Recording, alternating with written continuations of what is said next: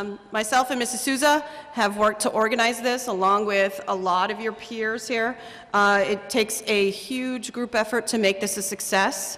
So please remember that when you're watching this and respect their uh, efforts. Thank you. Uh, we just want to let you know this year's theme revolves around National Foreign Language Week. Our theme is Find the Missing Piece. Um, we will be watching presentations that revolve uh, around the themes of culture, language, music, poetry, um, and many other things. We really think you're going to enjoy the presentation uh, that your students um, have put on for you. So enjoy.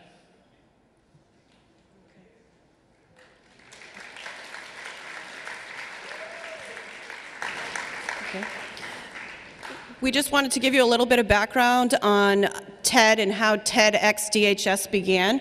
Um, two years ago, myself and Mrs. Souza took a group of students to the TEDx uh, presentation over at the Zeiterion Theater here in New Bedford, and um, the kids received it quite well. And so we started talking about doing something here at the high school in order to give students an outlet to show all of their knowledge in various areas that they don't necessarily get to use during the regular school day and in areas that they do get to use during the regular school day.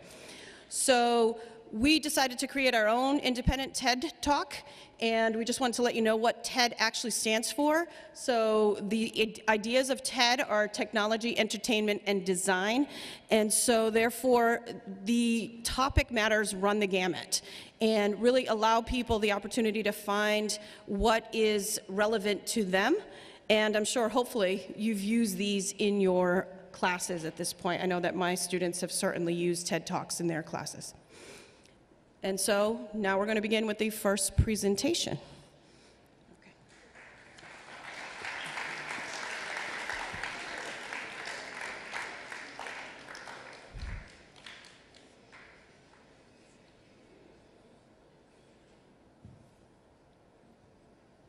Okay, our first presenter is our only presenter who is actually uh, a veteran of the TED Talk, uh, TEDx DHS stage. She was actually the only presenter who was here last year as well.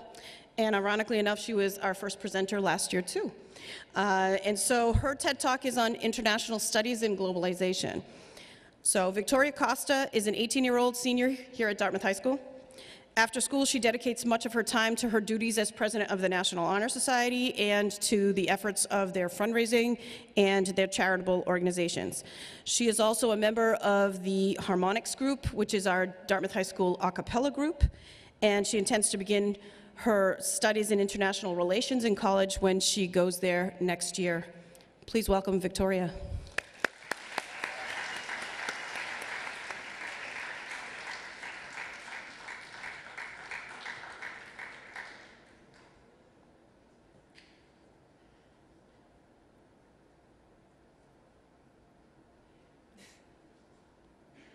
As, as seen throughout history, the world constantly changes.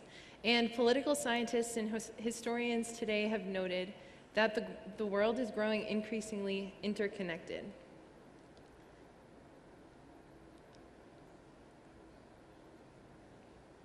Well, gotta find out where this is going. Okay, this increasing international interconnectedness is known as globalization. And originally, globalization was a term that was used when describing the interconnectedness that arose because of trade patterns, but it's come to encompass a lot more. Today, it also describes the pattern of social change that has risen due to international interconnectedness. Gotta get used to this. Okay. Humankind can see globalization occurring in everyday life, and one of the most prominent examples of globalization today is the modern day Olympics. Beginning in the late 1800s, the Olympics became a way for different countries to showcase a, a certain degree of power in the global arena. And this was a key aspect of how they would run themselves, especially when discussing national isolationism and to a degree, nationalism. What society has seen today, however, is that countries aren't necessarily demonstrating how much power they have in the Olympics. It, the, the Olympic Games have sort of grown to showcase a certain level of national pride. And through international events like the Olympics, we can see that it is possible to have nationalism while still maintaining international ties. Unfortunately, one of the greatest criticisms of globalization is that it results in a loss of culture. And it's true because as the world becomes increasingly globalized, some aspects of culture are lost. Events like the Olympics, however, have the ability to actually maintain or enhance certain aspects of native cultures while maintaining these international connections. Globalization has a way of bringing people together like never before, especially through the increased use of technology. When events like the Olympics take place, this interconnectedness can actually showcase certain international issues that aren't brought to light otherwise, especially when certain countries take isolationist point of views. The Rio Games last year, for example, brought up a number of issues that gained international attention. Pictured here is 19 year old Margaret Rumat Rumar Hassan. She's from South Sudan, and her first Olympic run was last year in the 200 meter. Now, South Sudan is a country that's only five years old and has been ridden with war since even before its creation. Rio 2016 was the first time Margaret had the opportunity to represent her country in the Olympics after it was admitted into the Olympics by the International Olympics Committee in 2015. And South Sudan wasn't the only spotlight on the Games either. The 2016 Summer Games in Rio was also the first time that the Olympics had ever had a team solely comprised of ref- refugees. These 10 athletes came from Syria, South Sudan, the Democratic Republic of the Congo, and Ethiopia, and trained in Belgium, Germany, Brazil, Luxembourg, and Kenya. Ultimately, their display of athleticism was not only a showcase for themselves, but it also drew international attention on an issue that was prominent last year and continues to be an issue today. Now, even though Brazil was contributing to making history last year, the, the Olympics also showcased some of the issues within the country itself. And many of these issues are actually seen in other developing countries too. For example, when international events like this take place, the host countries are usually expected to undergo a process of self improvement, especially in the realm of infrastructure.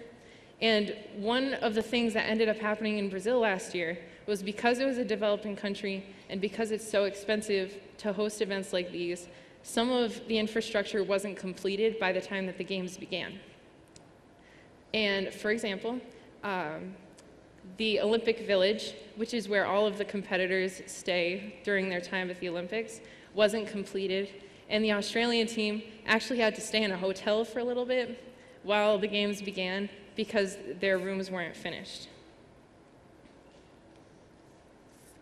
And one of the other most prominent issues that Brazil faced during these games was the extremely high level of water pollution, especially in waters that were used for sporting events.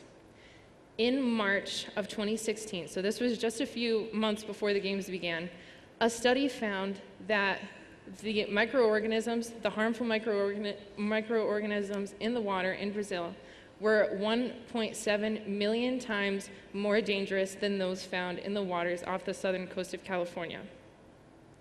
So, if athletes were exposed to this water over long periods of time, they faced the possibility of serious intestinal damage, um, among other issues, but that was the most prominent.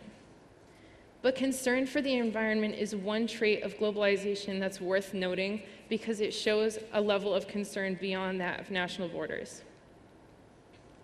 And globalization has a lot to offer, uh, but it's very important to note both the positive and ne- negative aspects of it.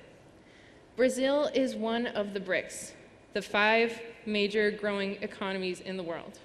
So, Brazil, Russia, India, China, and South Africa formed a coalition of the fastest growing economies in the world, and so they all support each other in a way.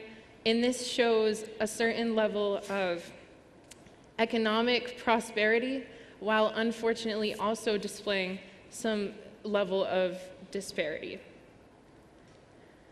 Two weeks ago, I was in Kolkata, which is the capital of India's West Bengal state. I saw a city where one side lives in extreme poverty and the other side lives in wealth. I spent time learning about how the country has been affected by globalization, especially through the increased use of technology. While in India, I was able to witness development and human progress as it was taking place. And there's this popular idea of social Darwinism, which is the idea that the most powerful people and most powerful countries will be the ones that succeed and the ones that inherently progress. I like to define human progress a little bit more loosely because there are multiple ways for humanity to progress, as we've seen. People and different cultures progress in different ways. The outgoing world order shows that some nations, the ones that have been superpowers over long periods of time, are actually giving way to some nations that have been suppressed. What we're seeing is this new world order where developing countries are beginning to have access to the global stage. And whether it be through something like nationalism, which is a little bit more of an abstract idea, there isn't really much concrete evidence or support for it, or something, or through something a little more physical, like different methods of transportation, people are becoming increasingly interconnected. And whatever your opinion on globalization may be, it's impossible to deny that it's happening. Two, two days ago in class, we were having a really casual discussion, and so I have a very, I have a, I have a small sized class, third block, and my teacher, Mr. Apperson, gave us a little quote in a, in a very casual context, but it was something that I thought was so, so profound that I asked him to repeat it, and I told him I would put it up here. um, so he said, cross cultural interaction and exchange are some of the most important aspects of advancement and progress in history. And this is true. Human interaction is inevitable. When we try to avoid it, we lose a sense of purpose. If we are to remain culturally active while still progressing, we should look to the developing countries that are doing it as, as we see, as right before our eyes. Um, they are maintaining their own cultures while progressing with the developed world around them. Globalization is the key to determine what the future of humankind will look like.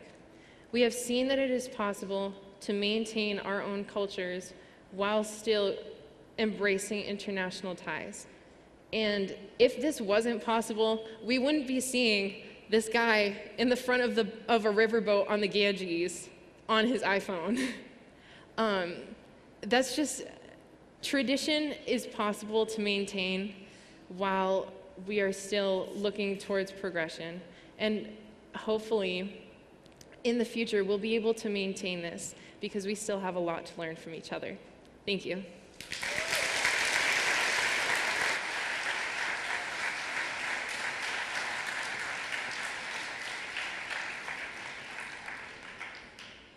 Thank you, Victoria.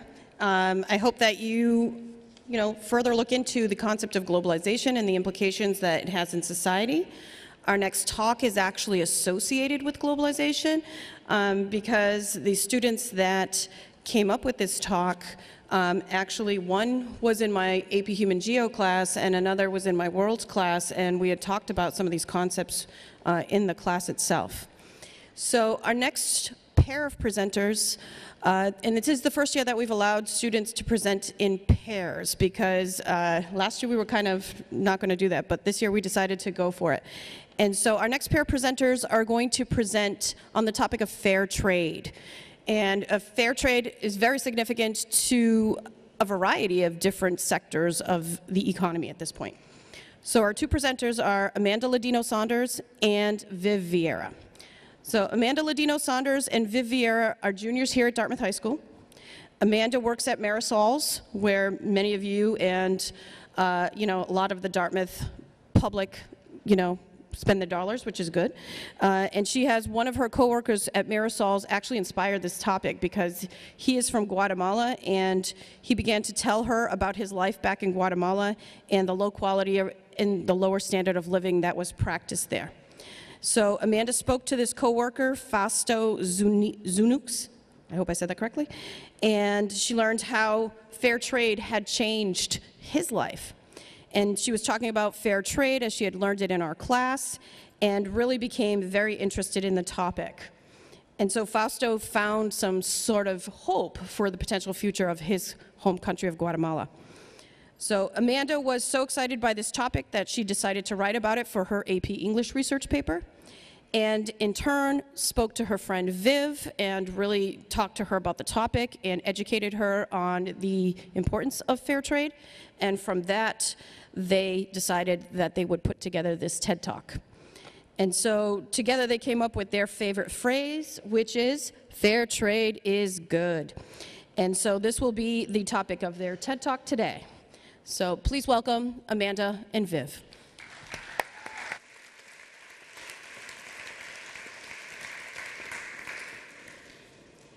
If I were to give all, all, all of you $3, the price of one American coffee, and I told you that's all you and your family could live off of for the rest of your life, how long do you think you could last? Think about the luxuries you have to give up now. You fare better in reality than most of the people in less developed countries who work on farms. These workers get $1 a day, and that is what they live off of. Not only them, but their families. That's why fair trade is vital. It's vital for their survival, it's vital for a humanitarian issue. Many people know me as a chippy girl. I work at Marisol's Cafe, a Latin American cafe in Dartmouth, Massachusetts.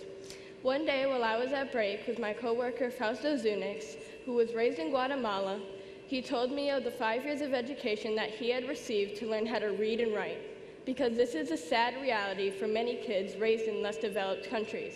They are raised to work, not to learn. This angered me, and I thought back to AP Human Geo when I learned a term called fair trade.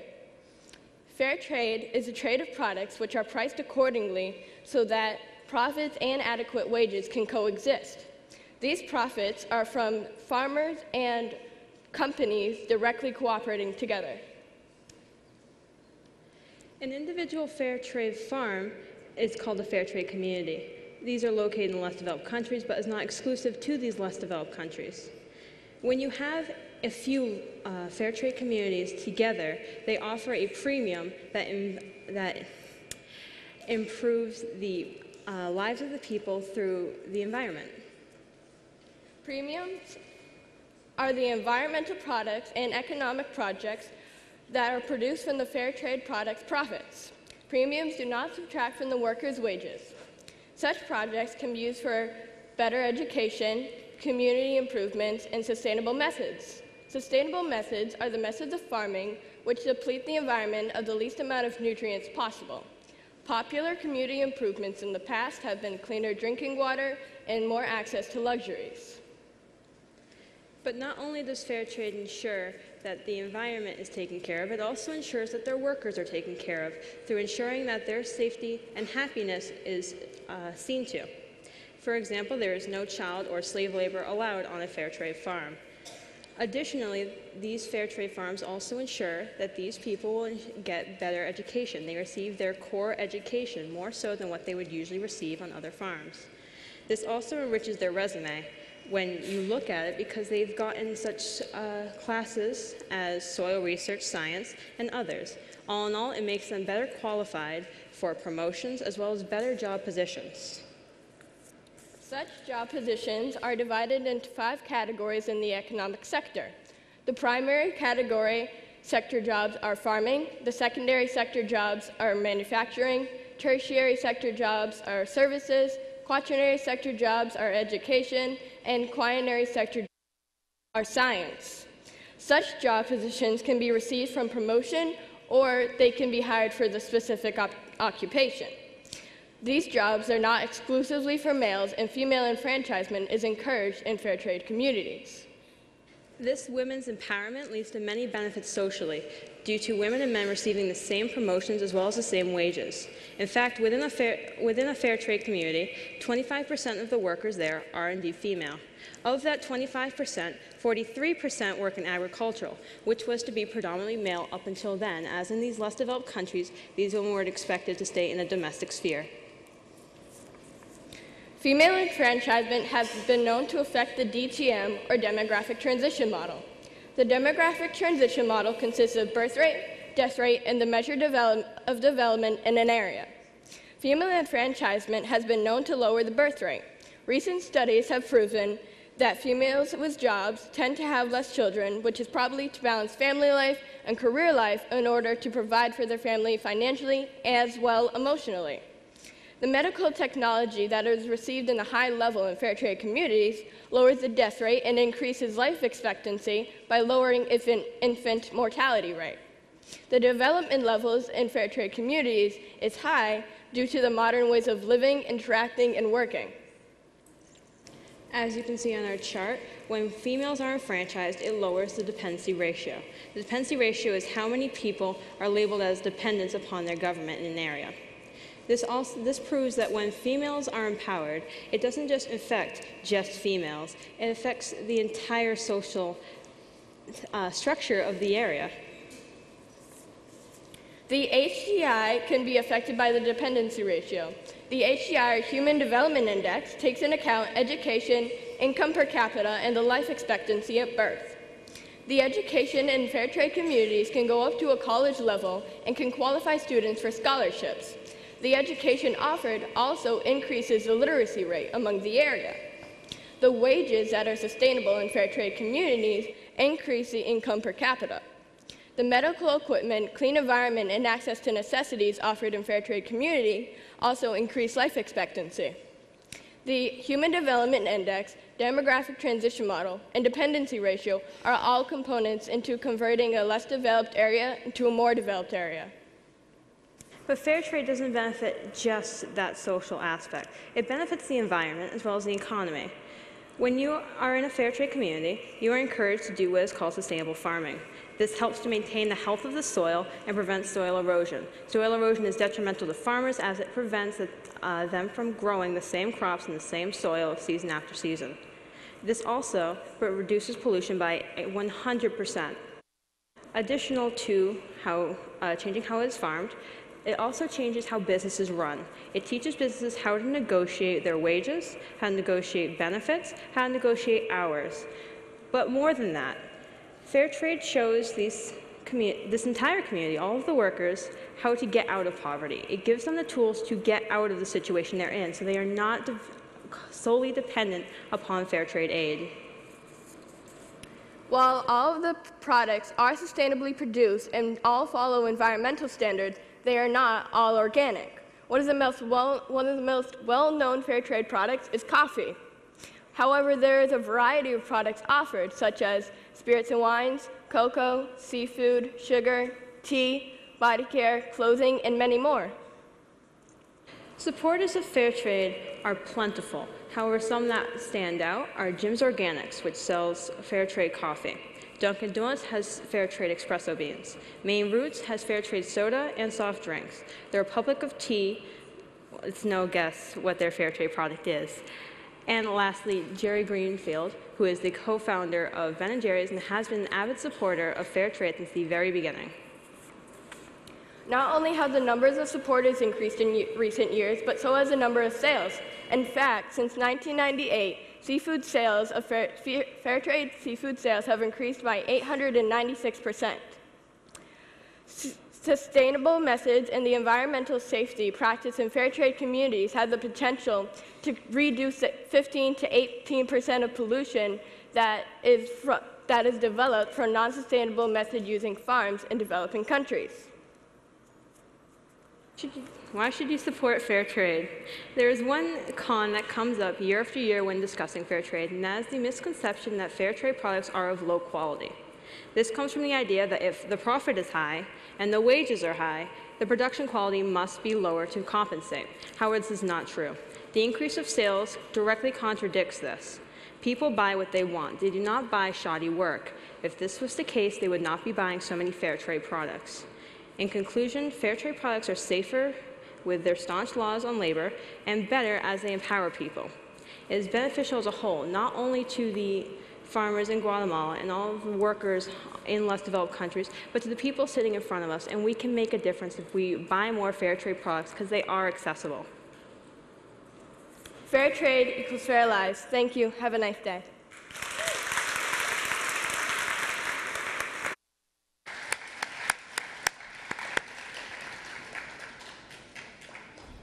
Thank you, Amanda and Viv, for shedding some light on a topic that shows you not only that you can do the right thing, but also make a profit doing the right thing.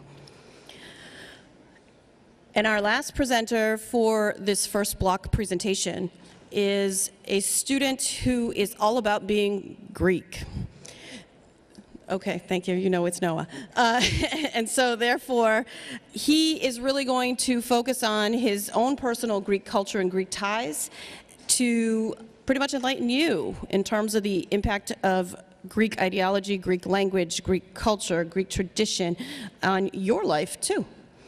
So, our next presenter is Noah DeRossi Goldberg, who is a junior here at Dartmouth High School and currently the vice president of the junior class. Noah strives to obtain academic achievements so that he may lead a successful school career and eventually become a medical professional. He is an avid debater and a lover of politics. Noah is also president of the Greek Orthodox Youth Association at the St. George Greek Orthodox Church here in Dartmouth. He has been a he has been to Greece multiple times, which he'll share with you, and is currently working on learning the language of his Greek ancestors. He has decided to do this talk in order to spread the word about the importance of Greek culture in our society and in society in general. Noah is very excited to do this today. Uh, so please welcome Noah.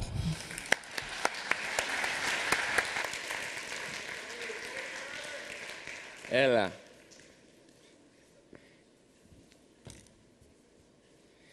Give me a word, any word, and I show you how the root of that word is Greek.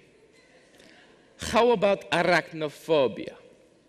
Arachnophobia comes from the Greek word arachna, meaning spider, and phobias, a fear, phobi. How about kimono, you might ask? Kimono, kimono, kimono, kimono. Aha! Kimono comes from the Greek word chimona, meaning winter. So, what do you wear in the winter time when it is cold outside? A robe. Robe, kimono, there you go. Now, I'll answer all your burning questions now because I know there's many. One, yes, we do spit on people for good luck. A little gross, but it's okay. Two, yes, we probably spend hundreds of dollars in our lives on plates we accidentally broke at weddings. And three, no, no, no, no, no. We do not use that much Windex. We use olive oil.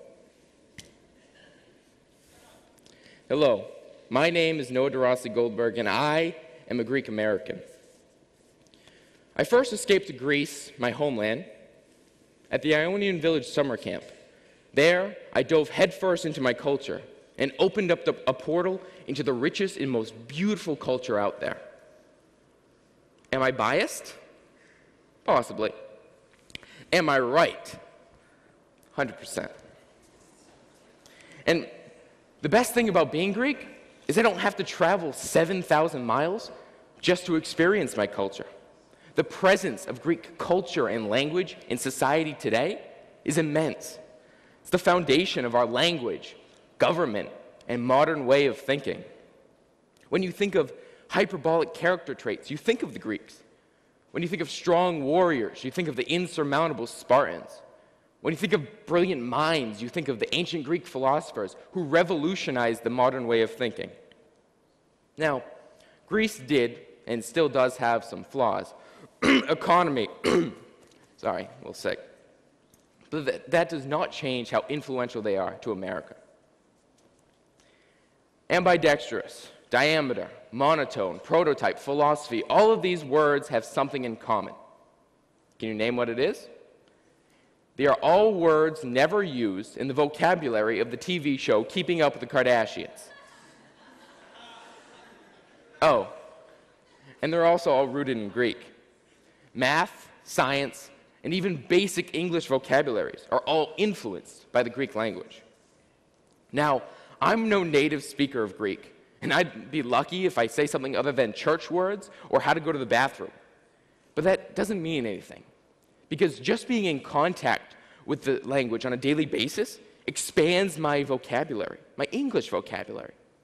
Words with Greek roots are easier for me to understand and learn because I'm around it all the time. So it is my dream for more and more schools to teach Greek so that we may not only learn yet another language, but become more proficient in our own. Language is something that ties us all together, no matter where you're from. So it's an important thing to learn. An expanded vocabulary means you can express yourself in more ways with more words. So now, we're going to have a quick Greek school lesson, just to teach, you guys the basics of the Greek language. Say you're walking in the horio, or the village, and you see a friend. How would you greet them? First, you say yasu, meaning hello. So repeat after me yasu.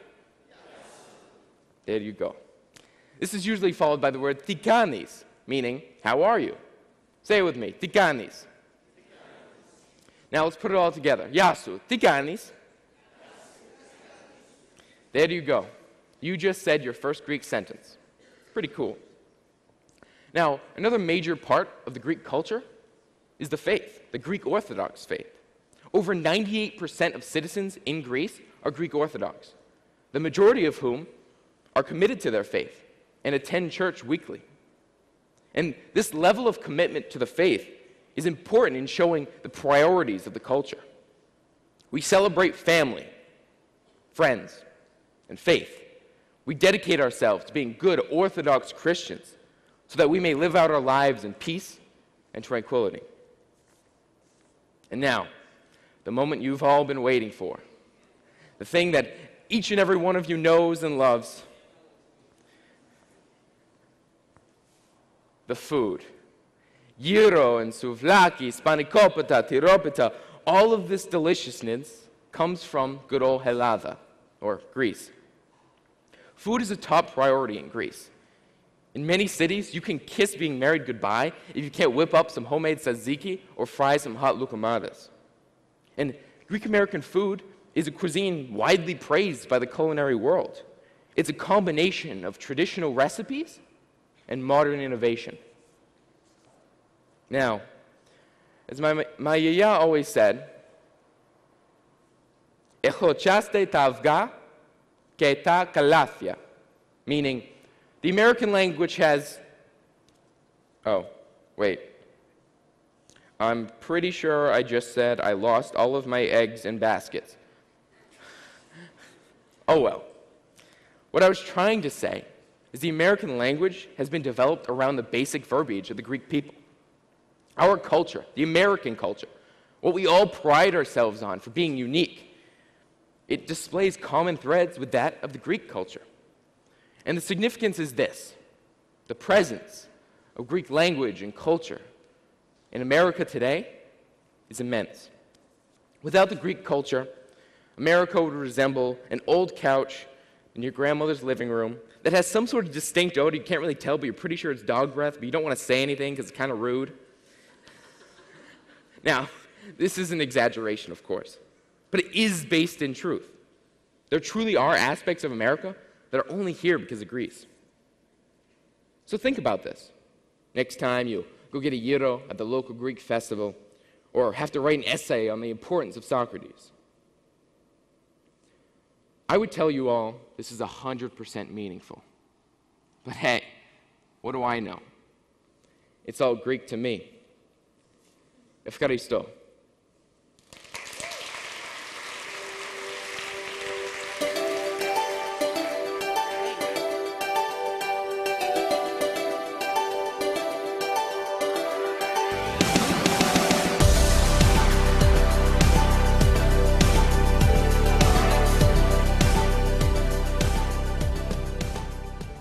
Thank you for coming and participating in our TED Talks. Um, as you few don't know, TED stands for Technology, Entertainment, and Design.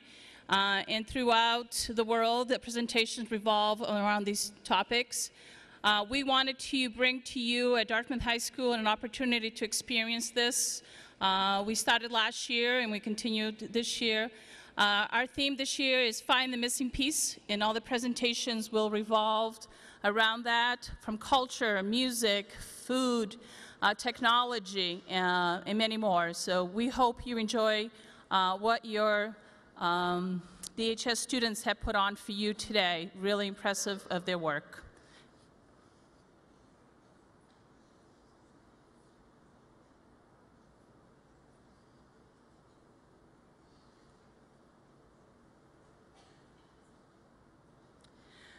Okay, our first TED Talk of the second block is titled Flavors of the World, which is about food and its cultural meaning. Emerson Dugalinski and Molly Emmett are both juniors at Dartmouth High School. Emmy loves history, while Molly is a dancer. Both recently became acquainted with TED Talks and enjoy these inspiring stories. Emmy and Molly feel taking part in this experience is challenging and then to move outside of their comfort zones. Both ladies love food, so they have decided to combine their love of food with their love of learning and created this collaborative TED Talk on how food is a large part of our culture throughout the world. Please welcome Emmy and Molly.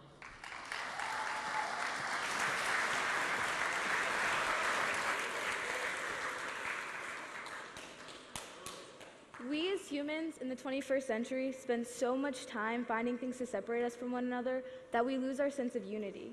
We try to destroy anything that holds us together.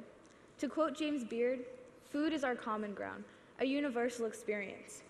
Food is our only permanent aspect that holds us together as humans. It's no secret that food in its own entirety is known to build upon relationships and bring us closer together. Whether it be cooking with someone or sharing a meal together, there's a certain intimacy that exists.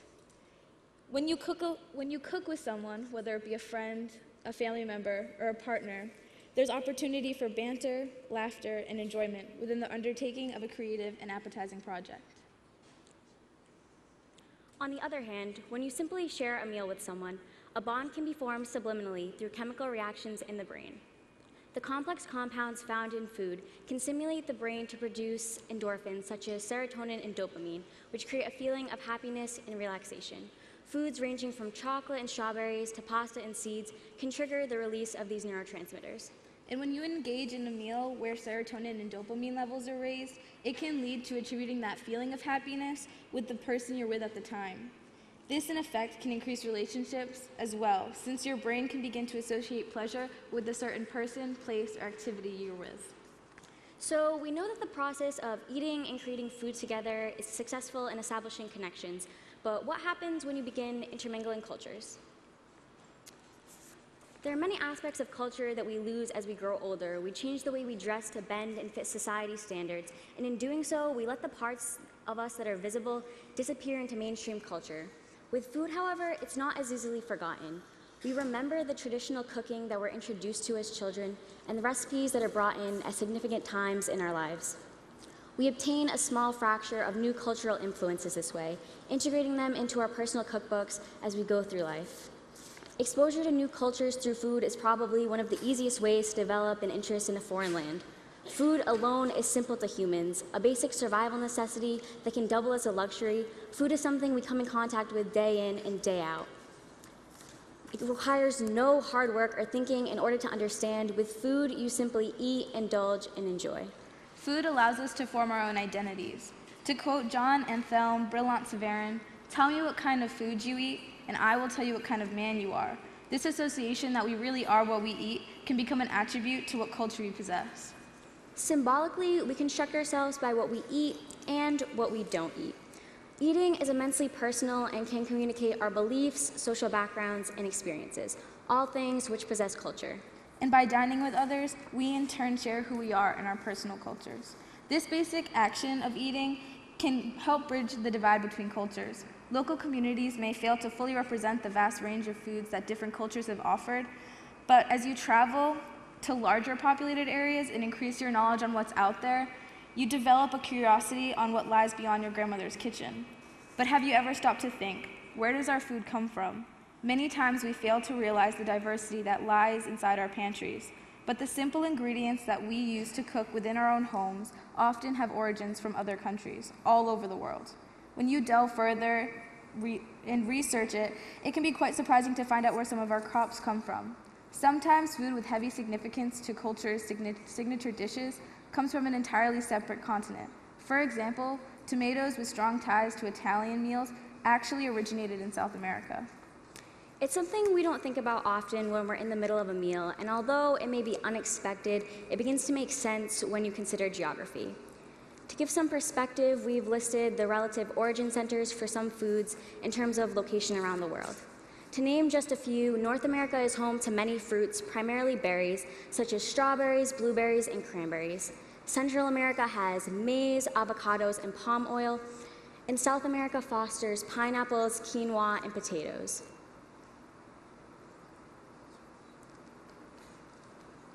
On the other hemisphere, we have Europe with pears, oats, and hazelnuts. Countries bordering the Mediterranean Sea with dates, lentils, and barley, and Africa with coffee, watermelon, and sorghum.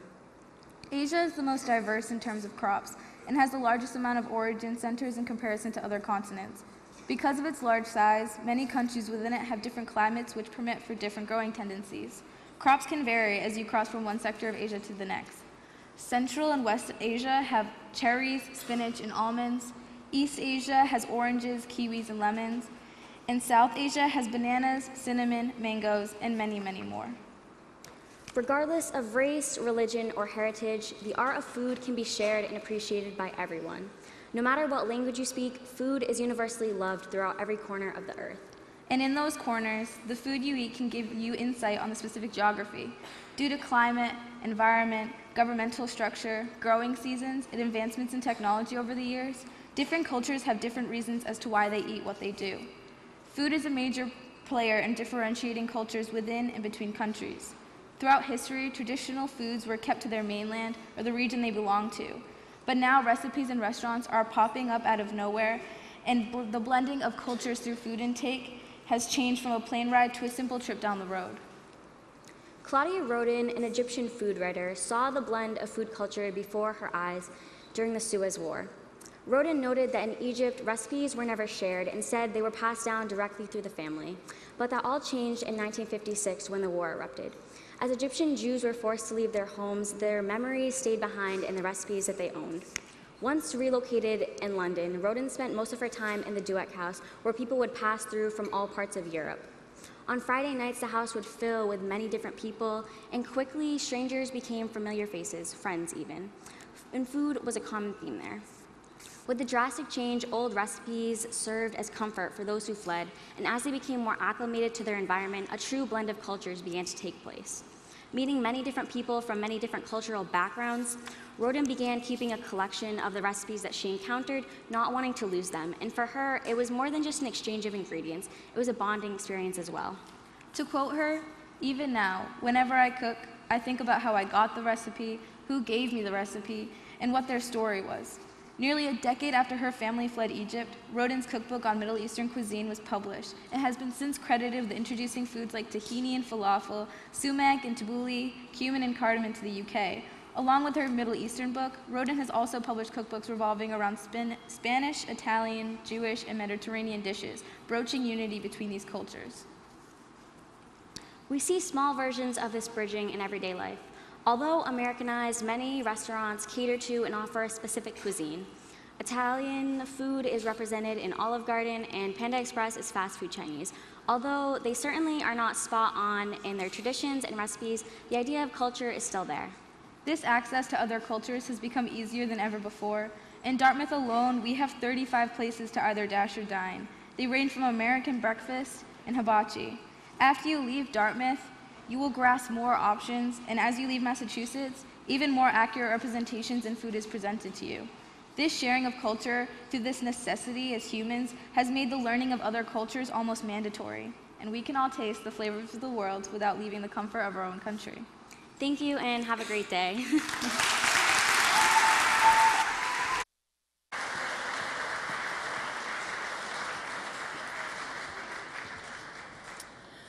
I hope you are intrigued by all those flavors of the world.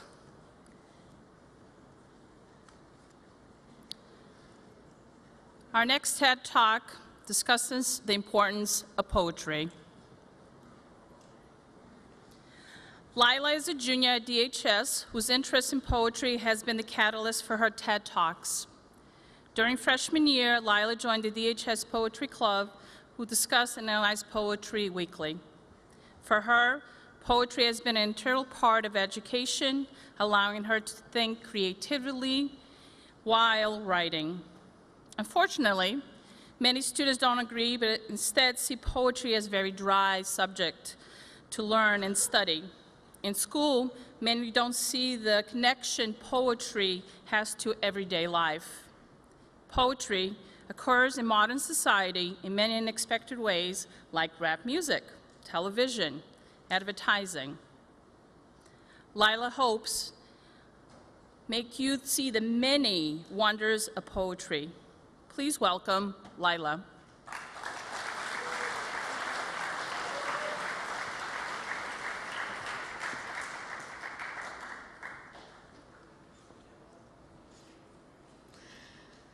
Good morning, everyone. To start off, I'd like to ask all of you to think of the first word that comes to your mind when I say poetry. I bet that quite a few of you are thinking of words right now that probably shouldn't be repeated out loud, but don't worry, I won't ask you what they are. I only ask that you keep an, keep an open mind in the hopes that maybe you'll think of a nicer word later. As humans, we communicate through very literal language, especially in the 21st century when texting has become one of the main forms of communication. After all, there's no need to use excessively intricate language in daily conversation unless you're Shakespeare's Romeo. Most poems introduced to students in high school are all but literal. Poets usually utilize complex literary devices to finesse the ideas and stories they want to convey in their poems. This is good because it makes the poem more interesting to read and gives it the flow that only a poem can have. However, it makes poems less accessible to some readers new to the idea of poetry. When asked to analyze the meaning of poetry, it gets kind of hard when advanced vocabulary, complex sentence structure, and metaphors stand in your way. Most poems are just plain hard to read. Students can also find it hard to relate to many of the poems taught to them. Reading something automatically becomes more intriguing when there's some content to relate to. There's a separation that can form between the average high school student and a century old sonnet. The simple explanation is that people now are a lot different than the poets of back then. You need a connection with, with what you're reading before you become interested in it. Perhaps teen aversion to poetry is cultural and learned as you go through school. Whatever the reason is, or whatever your reason is, there are ways we can learn to love poetry. Firstly, students should have a broad experience of poetry, not limited to the classics. Don't get me wrong, the classics are masterworks which should be studied, but contemporary poetry can be just as important. Contemporary poems typically have content which allows that connection between the poet, poem, and the reader. There are many newer poems which cover the relevant topics of today, such as racial injustice, social media, and the new generation of Americans. There's a poem out there for everyone. Poetry also needs to be introduced to students in a way that poetry doesn't become a chore. In my freshman year English class, I was introduced po- to poetry through a well known contemporary poet by the name of Billy Collins. Here's his poem, Introduction to Poetry. I asked them to take a poem and hold it up to the light like a color slide, or press an ear against its hive. I say, drop a mouse into a poem and watch him probe his way out, or walk inside the poem's room and feel the walls for a light switch. I want them to water ski across the surface of a poem, waving at the author's name on the shore. But all they want to do is tie the poem to a chair with rope and torture a confession out of it. They begin beating it with a hose to find out what it really means. Now, in this poem, there's a very important message. Poems shouldn't be read just to find a deeper meaning.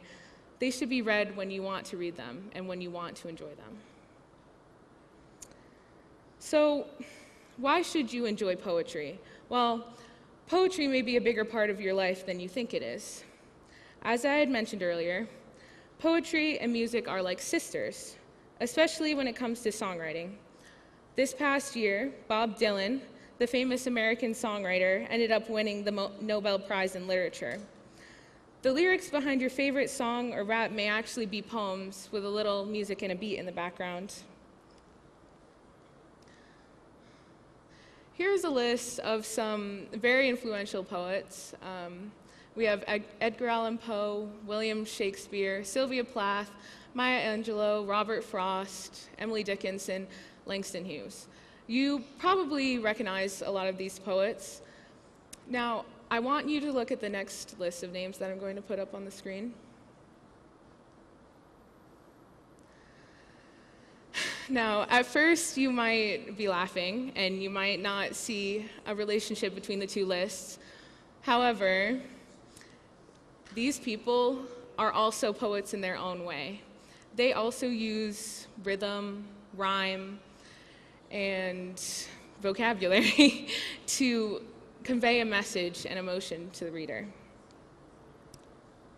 Even Shakespeare used a type of rhythm in his sonnets called iambic pentameter, which uses the stressing of syllables to give the poems a song like effect.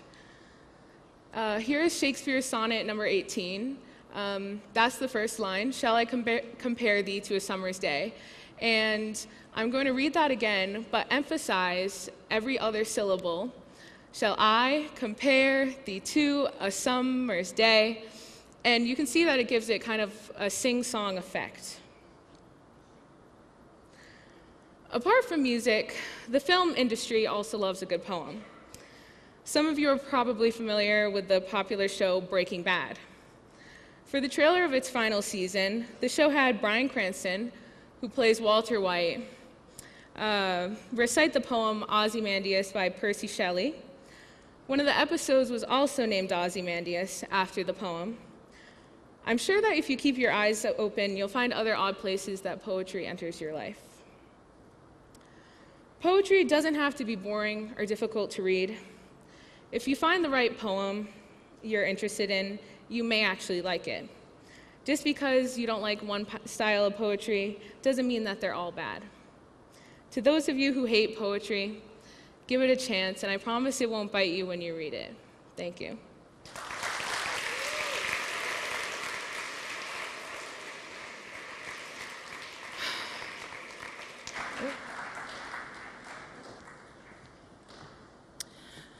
We hope you're inspired by that and hope to include poetry in today, tomorrow, and the future in your lives because it does touch the soul.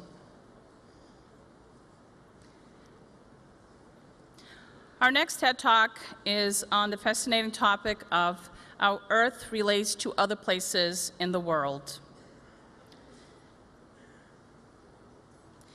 Hannah Chamberlain is a sophomore at Dartmouth High School. She plays the violin in the orchestra and runs cross country in the fall.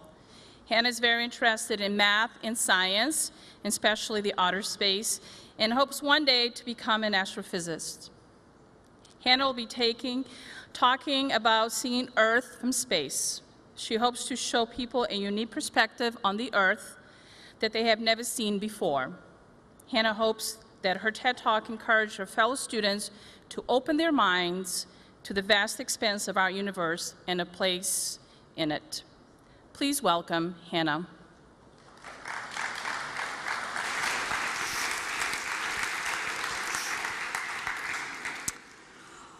What do you see when you look up at the night sky? Some may see the vast unknown that surrounds our tiny world, others may see constellations. People have looked to the stars for thousands of years, but it took thousands of more years for people to start looking back at the earth.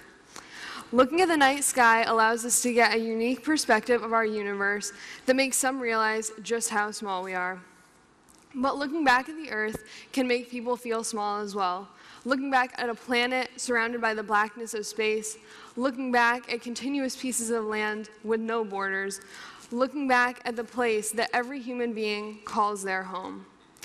We didn't gain this new perspective until about 70 years ago. One of the first photographs taken of the Earth was taken by the Explorer 2 balloon in 1935. When this photograph was taken, the balloon was still in Earth's atmosphere, so you can see the curve of the Earth, but not the blackness of space. This photograph is obviously in black and white and not as detailed, but it just started to give people a new perspective that they had never seen before. The first photograph taken of the Earth from space was taken in 1946 on a captured German V 2 rocket. This photograph was taken from 65 miles above Earth's surface. Again, this photograph is in black and white, but this time you can see the blackness of space and the clouds in Earth's atmosphere. After 10 years, this gave people a whole new idea of what Earth looked like from space. Just a few years later, in 1948, a group of American soldiers and scientists used a captured German V 2 rocket to take the first photograph of the Earth from 100 miles above Earth's surface. This is also in black and white, but there is a lot more detail in these pictures. There was no panoramic technology at the time, so they took many smaller pictures and then pasted them together to make what looks like one continuous picture. The next major breakthrough in space exploration came with the Apollo missions. These missions provided a new set of photographs of the Earth from deep space. The goal of the Apollo missions was to land Americans on the moon and safely return them back home. Also, people were looking to establish their new technology in space. We focused on the moon at first and not looking back at the Earth, but now the pictures that we gained of the Earth during this, these missions might be some of the longest lasting impacts of the missions. In 1968, the Apollo 8 crew were the first humans to take a photograph of the Earth from deep space. This was the first manned mission to the moon. They didn't land, but they just orbited around, and this picture became known as Earthrise. This is the first time that Earth was seen as a small sphere in the vast expanse of space. It's credited with the start of the environmental movement because it showed how fragile Earth was and how lucky we were to have a planet that provided us with the building blocks of life. In this picture, you can see the vibrant Earth versus the desolate moon in the foreground. In 1972, the Apollo 17 crew took the first photograph of the South Polar ice cap. This photograph became known as Blue Marble. In this photograph, you can also see the, the entirety of the continent of Africa and the Arabian Peninsula, and this is possibly the most reproduced picture in history. It's made into posters, t-shirts, and even pillows. This picture is in much greater detail than any of the pictures before it, but like the others, you can see all of Earth and the blackness of space behind it. In 1990, we gained a whole new perspective of the Earth. The Voyager 1 spacecraft took this photo out beyond Neptune, and it became known as Pale Blue Dot. Can you find Earth in this picture? I would be surprised if you could, because only one pixel in this picture is planet Earth. This is the last picture taken by the Voyager 1 spacecraft before its cameras were turned off, and it began its interstellar mission. Today, Voyager 1 is the farthest human made object from Earth, and it's still communicating with Earth on a regular basis. Since spacecraft can travel so far now, we are their photos show us how small and insignificant Earth is in the universe. Many pictures before this one focus on the details of Earth and not the small role that Earth has in the greater unknown. This is one of the few photographs that captures this small role. One of the astronomers working on the Voyager 1 mission, Carl Sagan, wrote a book inspired by this image, and he entitled his book Pale Blue Dot. When reflecting on this picture, he said, That's here, that's home, that's us. On it, everybody you love, everyone you know, everyone you ever heard of, every human being who ever was, lived out their lives. There is perhaps no better demonstration of the folly of human conceits than this distant image of our tiny world.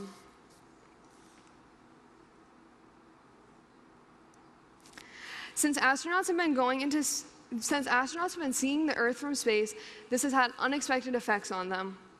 The most widely known effect is called the overview effect. This is an experience that astronauts go through when they see the Earth from space for the first time. They see Earth hanging in the blackness of space with only a paper thin atmosphere sheltering every living thing. This changes astronauts' perspective, per perspectives of humans' place on the Earth. Now, if everyone could just go into space and see the Earth from that perspective, would we have so many conflicts? Would people be so close minded? Would people start to work together as a community rather than working and solving problems on their own? Well, since we all can't go into space, I'd like to show you a short video of what astronauts see from the International Space Station and what causes the overview effect. In this video, you will be able to see the paper-thin atmosphere that separates Earth from space, you will be able to see hu humans' impact on the earth because of the lights from the cities and towns. You will be able to see thunderstorms, auroras, and even the blackness of space and the stars beyond the earth.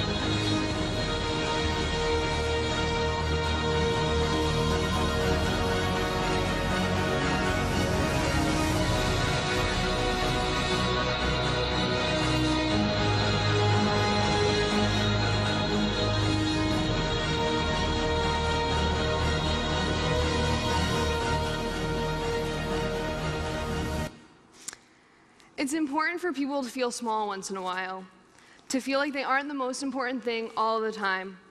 Today, I hope that you've gained a new perspective of our planet Earth, and I hope that you've realized that no matter your race, gender, ethnicity, or religion, that we all have one thing in common. We all call this pale blue dot our home. Thank you.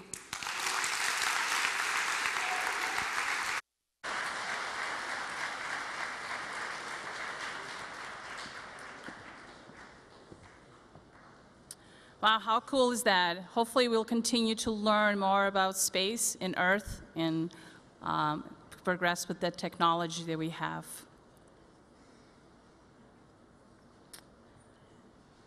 Okay, our last talk for Block 2 is on the pilot, which is an exciting new technology dealing with languages.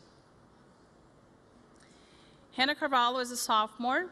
She is a cheerleader and a member of DECA. She is participating in TED Talks because she wants to expand her horizons and it feels it's a good public speaking experience. The TEDx she is presenting will discuss how emergent technology especially the pilot, can help break language barriers in many different fields. The pilot is an earbud which translates languages as they are spoken, allowing two people who are speaking different language to converse quickly and efficiently. This new invention is a step towards a long-term change in the different different cultures and people interact and promise to be extremely useful in schooling, traveling, and in the medical field. How exciting. Please welcome Hannah.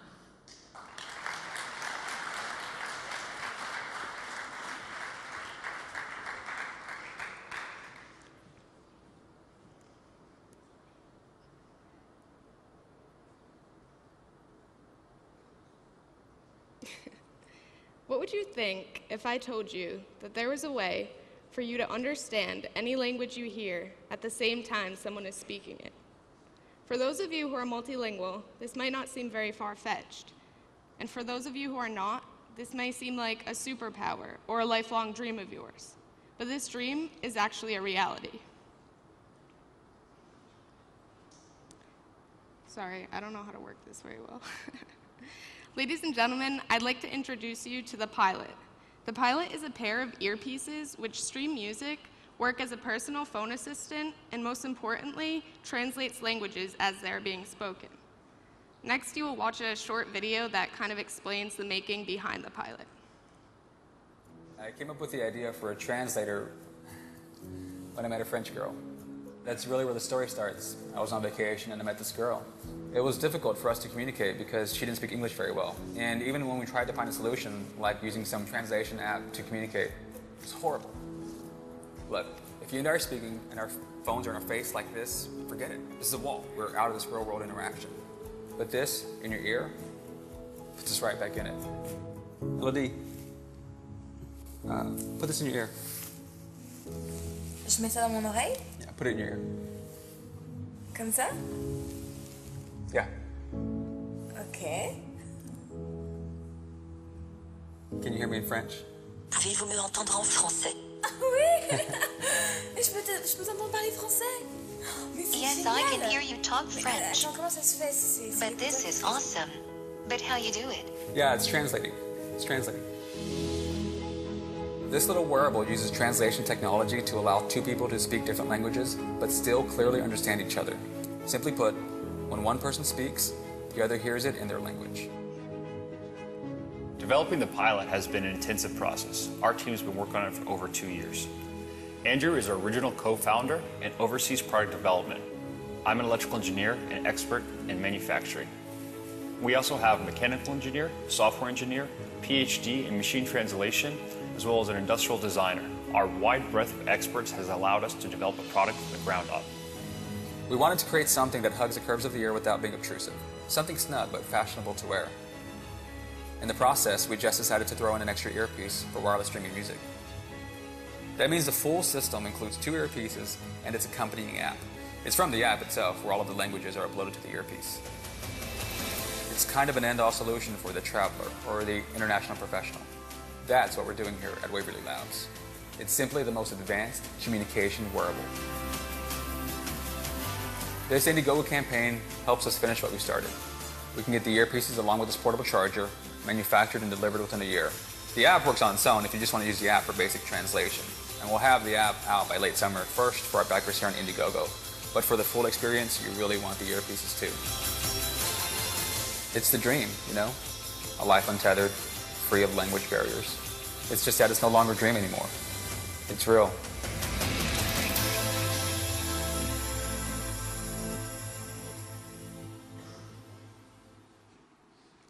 So the pilot will include many different languages such as English, Portuguese, French, Italian, Polish, Mandarin Chinese, and many more. The pilot costs 249 US dollars and the pre-orders will be shipped in May of 2017, so 2 months from now. Now the question is, so what? What can we do when we have this type of technology available? And the answer to that is finally break language barriers in many different fields, such as education and the medical field. I'd like you to imagine that you are sick or in pain, and you're trying to communicate to your doctor what you are feeling, but they don't understand what you are saying. Well, this is a sad reality for many patients around the world. According to the Joint Commission, individuals whose care is inhibited due to language barriers are at increased risk for poor outcome.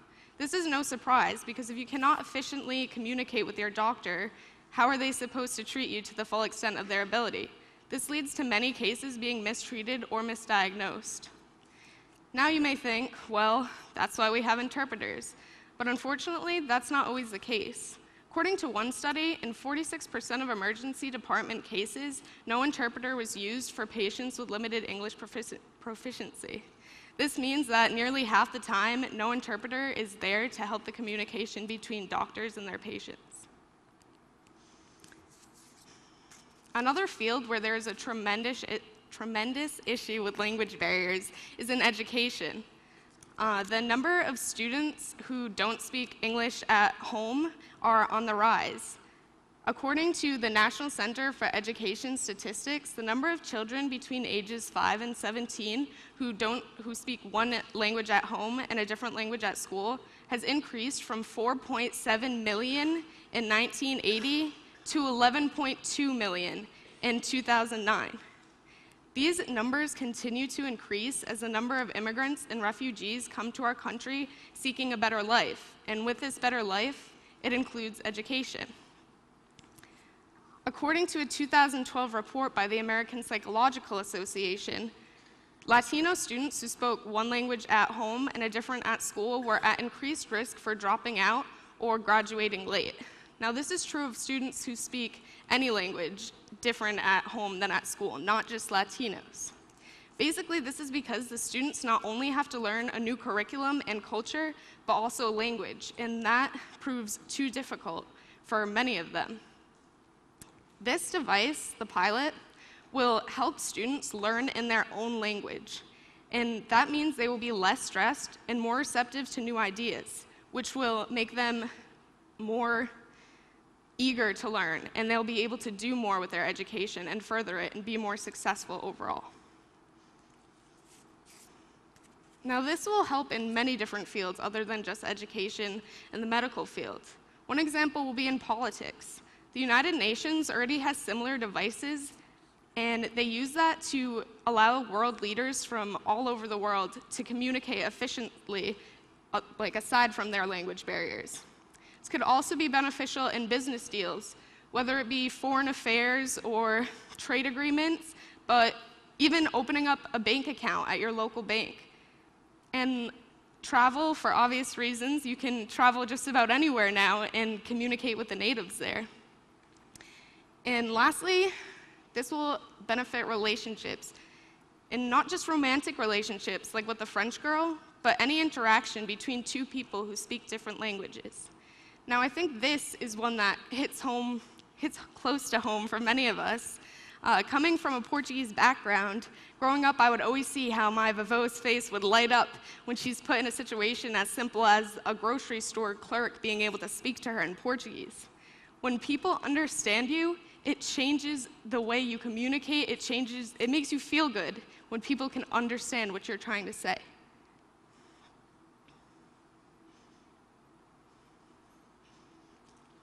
Sorry, I don't know what happened. Um, former South African president and civil rights activist Nelson Mandela once said, If you talk to a man in a language he understands, that goes to his head.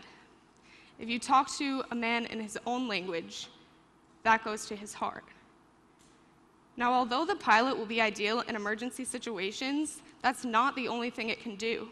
It will also encourage people to further their education and use this device to be more exposed to a language that they're trying to learn and be more comfortable with the pronunciations of this. So not only is it helping us communicate, but it's teaching us how to communicate. Now, if you only get one thing out of this TED Talk, I would like it to be that this technology will allow for anyone to speak to whomever, wherever, whenever, without sacrificing their own culture or language. And with connections like that, what barriers can't we break? Thank you.